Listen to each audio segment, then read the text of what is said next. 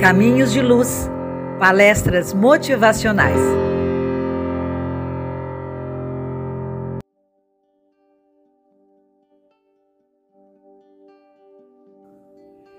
Olá, caminhantes, tudo bem?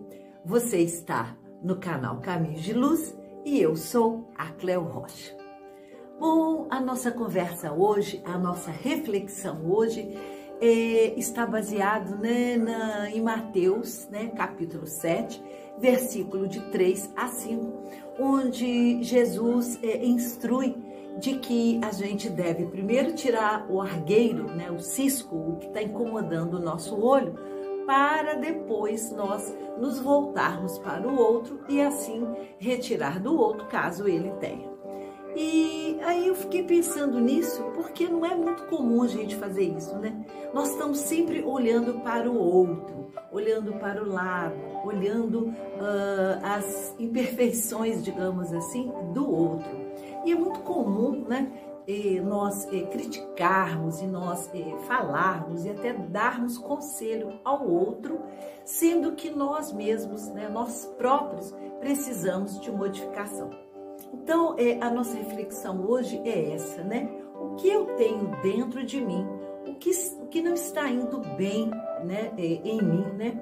Que cisco, que entrave, que argueiro eu tenho em mim, que eu tenho que retirar primeiro para eu ir ao encontro do outro, né? Para que eu possa ajudá-lo, para que eu possa é, é, dar um conselho a ele, né? Elevá-lo de alguma forma. Então, é, a nossa reflexão é essa, porque nós somos muito é, é, sinceros, muito prontos a, a, dar opinião do outro, né? Hum, aquele rapaz tem um vício horrível, né? Ele tem um vício de fumar, ou ele tem um vício de beber. Ah, eu vou orar por ele. Que coisa triste, que coisa horrível esse vício. Ah, isso destrói a vida das pessoas e tal. Ah, eu vou conversar com ele e eu vou uh, enviar boas energias para ele e eu vou, uh, de uma certa forma, ajudar para que ele saia, digamos assim, desse vício. Só que às vezes eu esqueço que eu não tenho vício, às vezes, nem de fumar, nem de beber, mas eu tenho vício, por exemplo, de falar da vida alheia, né? De fofocar. Então, eu tenho que primeiro resolver os meus problemas, resolver o meu vício, para depois eu dar conselho, para depois eu uh, é, querer, digamos assim, ajudar o outro. Nós somos muito ricos, prósperos, né? Até em olhar para o outro, em instruir o outro, em ver defeitos, imperfeições no outro. Mas e nossa conduta, né? Como é que está aqui o nosso coração? Como é que está a nossa mente? Como é que está nosso espírito, né? Em relação a tudo que nos cerca. Como é que como é que está andando isso, né? Que defeitos tenho eu? O que que eu tenho que consertar? O que que não vai bem na minha vida? É, seja espiritual, seja na minha vida física, né, na minha vida mental, na minha vida social, que não está andando bem, que tem alguma coisa que eu precise de consertar, né? Onde está o entrave na minha vida? Onde estão as dificuldades na minha vida? Onde eu tenho é, que parar, né? Ressignificar aquilo e prosseguir, né?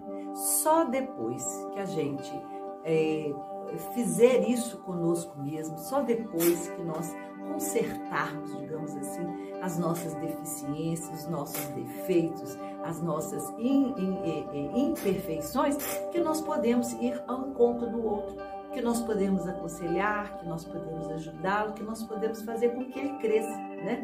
Então, é, é, Jesus chama a, as pessoas que assim fazem de hipócritas, né? Por quê? É mais fácil tentar consertar o outro do que a mim mesma. É mais fácil eu tentar ajudar o outro do que a mim mesmo, né? Então, eu, quando eu quero consertar o outro, eu estou olhando para fora. O difícil é eu olhar, ó, aqui para dentro, né? O que que eu, né, estou fazendo com a minha vida? O que que eu estou fazendo com as minhas imperfeições? Onde eu estou batalhando para que elas mudem? Né? Onde eu estou uh, todos os dias orando, pedindo, né? E, e, e tentando me aperfeiçoar, né?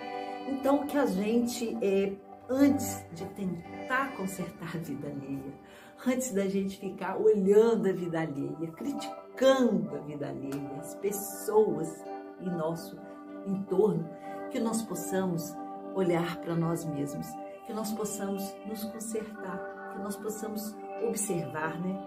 É, silenciar nossa mente, né? que a gente possa ficar ali quietinho, só observando, né? O que, que não está indo bem? Onde eu posso melhorar? Onde eu posso crescer? O que, que eu posso deixar para trás? Quais as dificuldades que eu estou enfrentando? De que forma, de que maneira eu vou sair dessas minhas dificuldades?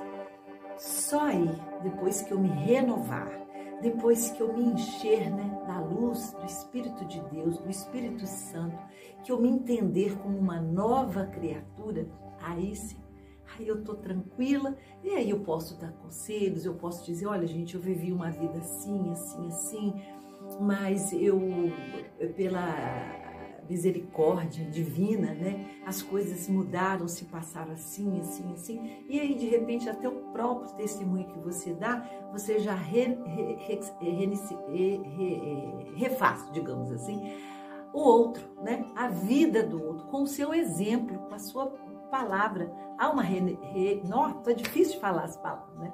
Ressignificação. Ha! Saiu. É, da minha vida, do meu caminhar, daquilo que eu posso oferecer para os outros. Então, antes da gente querer tirar as dificuldades do outro, né, os entraves no olho do outro, que nós saibamos tirar os nossos próprios. Vamos orar?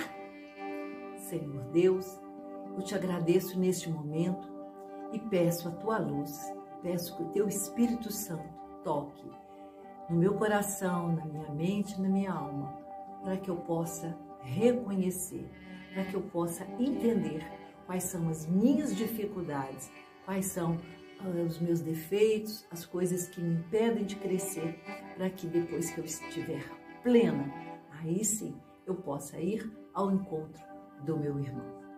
Um grande abraço para vocês. Se você gostou, clica aqui, compartilhe esse vídeo com seus amigos e muito obrigada pela atenção. Até o próximo vídeo.